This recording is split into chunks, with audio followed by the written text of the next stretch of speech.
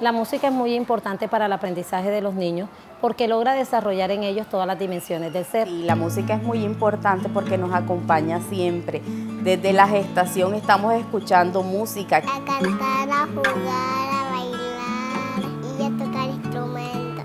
Ella se interesa mucho por la música, le gustan las canciones, quiere aprender sus letras. El proyecto de Cajita de Música ha fortalecido mucho mi labor como maestra. Que la música, al igual que los deportes, nos mantienen alejados de las cosas malas.